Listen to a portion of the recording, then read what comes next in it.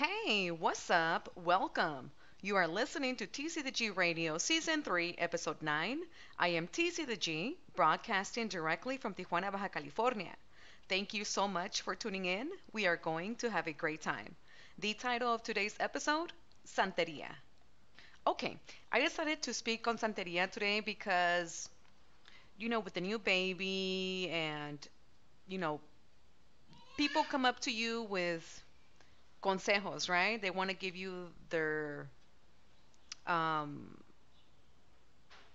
they want to give you pieces of advice, right? And I completely appreciate that. I totally appreciate that. Some people, you know, they want to pass on their wisdom, but I have noticed that some people do it out of mm, their ego, I guess. They want to feel like they know more or they want to feel like they know better which again i don't want to take from pe- some people you know they do have the experience they do have the time you know the experience they have put in the work the time to raise their kids and yes most definitely they have some pearls of wisdom to share with us right now I can tell the difference between somebody who's doing it out of ego versus somebody who's doing it out of their heart. Because the ego person usually is like telling you what to do, like their tone of voice. Um, they're not really like, oh, you know, did you know that, you know, or this helped me as a parent, or it's usually like, ay, los calcetines, ay, like, you know, the whole, the whole extra emphasis on what they're saying, right? And I I myself I really don't care like um I don't want to sound like I'm like oh too sensitive or anything. I I let them say whatever they want to say. Of course, at the end of the day, it's up to me what information or what um, advice I'm going to take and utilize in my parenting, right? So it does get a little bit annoying. I'm not gonna lie when people are constantly, constantly telling you things, um, or they think you know they're helping. Maybe it does get a little like it gets a little bit like uh, repetitive. I get I get I guess a little bit like annoying. It's just like uh, but you know I just let people be. If they really bother me, I would say it. You know like uh, like Señora, es, es, no, no se preocupe, you know, es mi hijo o es mi hija, no se preocupe, todo está bien. Um, and sometimes, you know, I, I have used that, and they kind of understand like, "Mm, I really don't want to hear, you know, like, and it's usually like things that they fear, like they're speaking out of their own fear, right? Um, like for example, if I take my daughter to the store and she's not wearing socks, even though it's not like cold weather or raining, or oh, where are her socks? And it's like, why does she need socks? You know, it's, it's like middle of the day. We're going to the store quickly. What does she need those socks for? If anything, like, I have noticed that when we over protect our children, we make them weaker. Even their immune system becomes weaker because we're so protective of them that we're not allowing them to experience the world and, you know, just like they're overprotected, you know? For example, also when they're like on the floor or they eat dirt or things like that, some parents, oh, don't don't don't do that. Don't eat dirt. Of course, I'm not gonna let my daughter eat a pound of dirt. You know what I mean? But if she wants, if she's like, if I see that she ate a little bit of dirt or that she's playing with dirt, I'm not gonna take her away and kind of like, you know, be mad at that because that's part of being human. That's part of childhood, right? You you have to experience the world. And all these, you know, we might think, oh, dirt is dirty, but it also has like bacteria that we need as people to to be healthy, right? Because if you're like in a place where everything is so sanitized, as soon as a little virus comes in, you're gonna be you're you're pretty much not gonna have the the defense mechanism to take care or to kill off this virus, right? It's just it's just science. So those are the little things like, you know, if it was like if the advice was delivered in a different way or um and yes, in a different way, in a different manner, in a different tone, maybe it would be received, you know, more graciously. For example, there was this girl in the park. Uh, she had her son. She she was she had him in the stroller, right? And that day it was beaming, beaming, beaming hot. She was on the phone. She had her child in the stroller, but she was going like towards the sun. So like the baby was like really hot and she was going around the park. So the baby was like, you know, you can say kind of like heating. You know what I mean? So, or overheating. So she was going around the park and I was walking with my husband and I told him, you know, when we come around, I'm going to let her know, you know, that, or approach her in this way, right? Oh, hey, let me help you. Or approach her in a different way. I, t- I told my husband I'm going to approach her, but, you know, I'm going to do it like I said, uh, like I said, in a gracious way, right? In a gracious manner, like, hey, um, I think your baby is, it's kind of, I think the baby's hot. You might want to, you know, like put the, the, the blanket over, over, over the stroller so it can give him some shade. Or, hey, uh, I don't mean to bother or, or anything, you know, let me help you with, with the blanket because it looks like the baby's, it's cold, it's hot or something like that, you know? Not like, hey, the baby's hot. You should need to put the blanket on the baby. Like, you know what I mean? Like, there's a difference, you know? There's a big difference. And again, those people that go about it that way, I'm pretty sure they're just, um, maybe they don't know how to approach things properly. Maybe, you know. So I, I can expect everybody to know how to approach things. It just gets a little like, after a while, it just gets a little like, ah, people need to kind of like mind their own business if they're not going to go about it the right way. You know what I mean? Of course, if the child was in danger, hey, say in whatever way you want. That's no issue. But if it's just like the socks, or if it's just like, oh, the blanket, you know, you didn't bring a blanket, even though, again, it's hot, it's like, or it's not super cold, you know, like a lot of um, Mexican women, they're like blanket. Here in Tijuana, I, I've experienced a lot of them. Oh, the blanket for everything, even though it's not like, even though it's not like um, hot, cold or anything. I have met one lady. Um, she actually, she's she's so when I see her, she's always like, oh, it's so it's so cool that that you don't have your baby all like abrigada like like a lot of people do. You let her experience like the elements, you know like you just letting her be like you know in the elements kind of like like us. And i told her yes you know I, if it was cold i will definitely put another blanket. Like i'm not stupid you know i know what cold is. And i know that babies you know have mm, they can't regulate their temperature as much as we can as older older humans. But overall if the weather is not really that cold like you know i don't want to overprotect her. And then again have her defense mechanisms not work because I'm overprotecting her. You know what I mean? But anyways, this kind of goes back to the whole santeria, okay? Because I've also had a woman tell me my daughter had hiccups one day, and she said put a red thread on on the middle of her of her um, forehead, and that will make it go away, okay? And I was like, I know I've heard that that remedy before, and I just started studying like people these kind of rituals, these kind of things like the red thread and things like that. That's santeria. You're believing that this thread is gonna take care of that hiccup. You know what I mean? You're putting your faith in something outside. Uh, uh you're putting your faith on something that is not God, on this thread. You know, Another example is I went to the OXXO the other day and when the baby when not the other day actually I'm sorry I'm lying. I went to the OXXO like when she was really really small like almost like maybe like a month old.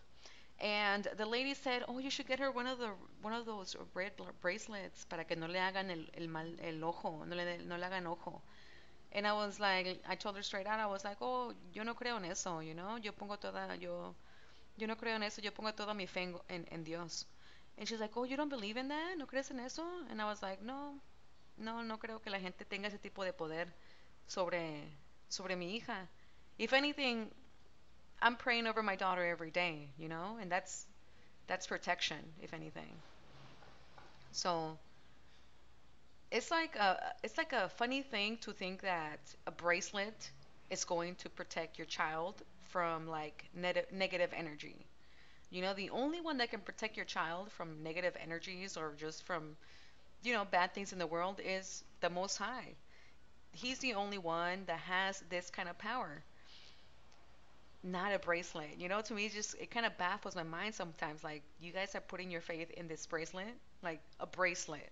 That's what your faith is. You know. Another one that's an example of that. Well, I guess those little bracelets actually they have like a little eye. Y en español es el ojo, el ojo turco o el ojo de la suerte. And of course, in English is the evil eye, right? And it's like an eye, and it has like blue. Sometimes it's red. And I've seen sometimes that it can also be green, but the most common ones that I have seen are the red one and the blue one. Okay, before I saw the blues, I actually seen the red. I've I had seen the red before. Like that was the first one, one that I ever saw ever ever ever. And then when I got when I got here to Tijuana, I started seeing the blue one. Um, and they have them a lot in the in the witchcraft stores here in Tijuana or like Santeria stores. They call them like um botanicas, you know, but it's if you go in there, it's like they have a lot of like figure like uh monos or like figure figurines or like um santos and like they even have like devils. They have like gnomes. All those type of things that they worship instead of worshiping the most high right? They're putting their they're putting their faith in these santos to help them instead of putting it in the most high. And you know everybody has the right to live their life their way the way they want to. But to me that to me is just um it's like you're having a middleman. You know what i mean? You're you're going to a middleman. There's no reason for a middleman. The main guy is the main guy. So why are you take you why are you talking to them to a middleman? And and again i guess everybody has the right to you know do whatever they want worship whoever they want as long as they're not you know as long as they're not hurting people or kids. But at the end of the day these type of like santeria those are rituals. A lot of them are rituals to manipulate your life around the life around you right? And i think the best way to manipulate your life is doing the proper action if you want your life to be good, then you need to do good actions. It's not gonna be this mono, it's not gonna be San Judas, it's not gonna be El Malverde, it's not gonna be La Santa Muerte, the one, that, the one that's gonna come help you. You know, it's gonna be your actions. Your actions are gonna be the ones to forge your future. And I'm not saying that I don't believe that there's some supernatural forces, you know, most definitely, but Santeria, I don't put that together with good forces. I put that with forces that dark forces, let's put it that way. Dark energy, dark forces. Because again, you're trying to control a lot of them do like spells to, get like a loved one or like spells for this, spells for that. And it's like that you're just trying to control people. You know, you're trying to control people. And you need to let people have their free will. And at the same time, I feel kind of sad for those people because they're fearful of life or they're they're so scared that they have to go to that extent of trying to like control people and situations instead of realizing that the kingdom of the kingdom of heaven is within You know, it's in you. It's up to you to forge the life that you want. Now, it does take a lot of, you know, emotional maturity. It takes a lot of work. So I completely understand how some people might just want to take a shortcut in that way, you know, and just do a spell and think that that everything's gonna be taken care of. The same way, like those stones, you know, like um, how people like get stones and supposedly this stone, this stone is for this, this stone is for that, like like uh, quartz and things like that. And I used to be a lot into that before when I was like more into like um hip, like more my hippie stuff. But as time progressed, I just like started thinking like not thinking, I got that insight, right, from the Most High that these rocks, yes, they have properties. Yes, everything in the world is alive, has a spirit, but I am the one in charge of my destiny, of my future. It's not going to be this rock. It's not going to be this prayer. It's not going to be this santo. It's going to be up to me. I, it's up to me. That's why I have free will.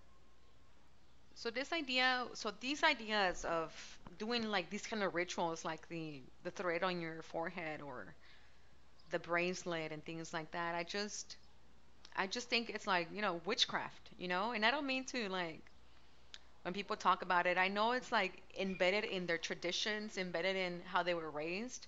So it's kind of hard for them to understand maybe my point of view that the most high is the most high. That's the only one we need. That's the only guy I pray to. Not a bracelet, not a eye, not a little figurine. And I guess my faith is that strong, and maybe their faith is not as strong again, so they think they need to take these measures. And I guess, yeah, I guess that makes sense. You know, like their faith is not that strong in the Most High that they feel like they have to add these extra things into the equation. I know for myself when I was into those little like stones and things like that, they say that there's like a power, there's a power in believing things, in, in believing, right? Kind of like the placebo effect. Like if you're familiar with the placebo effect, you know, it's they give you a pill, I guess let's make an example. They give you a pill. It's it's a pill that has just sugar, but since you believe in it so much that it's going to heal you, it ends up healing you just because of your power of belief. So, but you know, this is only temporary, you know. Once you, maybe you stop taking the pills or once you stop having that quartz mi- uh, mineral, then you start feeling down again. So then now you have given your power over to these things. Now you depend on them. And we need to learn how to have control of ourselves, how to be responsible for ourselves. We are pretty much given the responsibility to this rock, we're given the responsibility to this santo, to this bracelet. We are the ones responsible. So we need to take responsibility again for our actions, right? So we can forge the correct future that we want. So yeah, a lot of uh, women, you know, or just our traditions, they're so they're so embedded they're so embedded in us that it can be hard to let go of them. Um, and if we're not awake enough, our ego might start to fight back, might start to feel threatened, hurt that we're saying these things about the bracelet, or they feel insulted. They take the comment personal, like personal, like um, they take it personal. So you know, it's kind of a tricky thing sometimes to bring it up just because it can cause that kind of disturbance in some people because again, they're not aware enough. They're still living like a kind of like a trance, I guess, in this in their mind. Um, and it's very it's tricky to be mindful. A lot of people cannot do it. They believe their thoughts too much, you know, so everything their mind says, they kind of believe it and they think it's them and or just any belief systems that they have in their, you know, in their brains. If you challenge them, they feel threatened, you know, because it's part of their identity. And identity is very important to us as, as human beings. But more than more than that is important to the ego, right? The ego. And there's nothing wrong with the ego as long as you know there, there's a healthy sense of ego. But our society it's very much driven on ego, a lot of it, and not the healthy kind of ego. It's like it's the one where we identify as where we identify or the lack of identification with the most high. We have all these titles and we have all of these I'm this, I'm that, you know, com- and all of that brings competition and competition does not create friends. Competition creates enemies, you know? So we have this sense of it's just a lot to break down really for society and the point of this podcast was pretty much to talk about Santeria. So yes, I you know Santeria is completely out of the question with you know my daughter with our lives, and I just wanted to bring this message forward, you know, to spark maybe like a spark a thought or spark maybe to spark an awakening regarding this topic. I'm pretty sure, you know, some people might just not really care. But uh, again, I'm just here to try to spark or give you guys a different view of these, you know, these uh, traditions that we have in our culture. And, you know, so yeah. Thank you so much for tuning in to TC the G Radio. I hope you enjoyed this episode. What are your thoughts on Santeria? Let me know. Comment, like, subscribe, and ring the bell to stay in the loop. Remember to tune in to TC the G Radio Wednesdays at 12 p.m. Pacific Standard Time. Also connect with me on social media to get more of me and my music. My social media and contact information are in the video's description. Again, thank you to each and every one of you for tuning in and for allowing me to share this time with you. Take care. Saludos.